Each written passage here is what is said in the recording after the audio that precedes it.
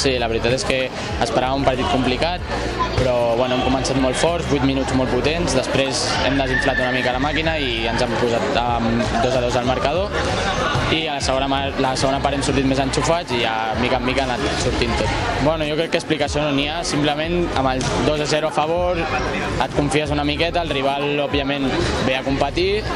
i et fica dos gols aquí a tercera nacional, et fiquen dos gols ràpids, igual partit i et posen les coses difícils temporada fins ara? Pues molt bona, la veritat és que no ens esperàvem que estiguéssim a tercera posició ara al Nadal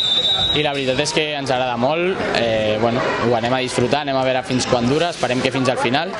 i bueno, a gaudir-ho i amb la gran animació que ens dona suport a, a tots els partits a casa doncs també és més fàcil.